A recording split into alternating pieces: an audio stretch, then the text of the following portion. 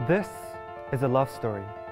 A bewildered little fourth grade boy, one day, squatting on a bamboo thatch floor of his makeshift hut in an overcrowded refugee camp.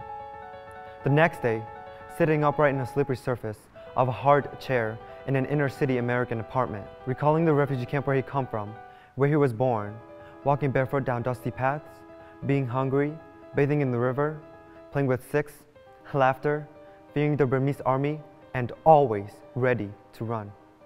Long flight, siblings crying, flying high, waking up in a sterile white room that echoed when I spoke. I fought to go to school in the refugee camp.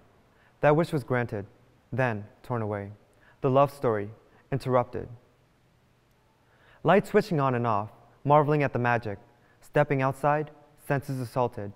The crisp smell of frigid air, the roaring public transportation, wet snow, and terrifying expanse of concrete made me hold tighter to my mom's warm hands. Voices passed us, speaking gibberish. The quest to learn English, the love story resumes, in the fine lines of the teacher when she smiled, the spark that caught fire with each beautiful page of a book turned. All books, any books. I want to learn. I'm listening. A new word, a new phrase. Words, books, pencils, lined paper, and the magic of erasers deeper, deeper in love, learning. But with all love stories, there were things that disrupted and invaded the love life. Insults hurled across the middle school lunchroom. Bullying, that's what they called it.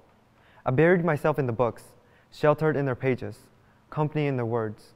But when the attacks came from home, they called it domestic violence.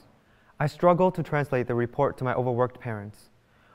Three younger siblings, one older, not interested in school, I was alone.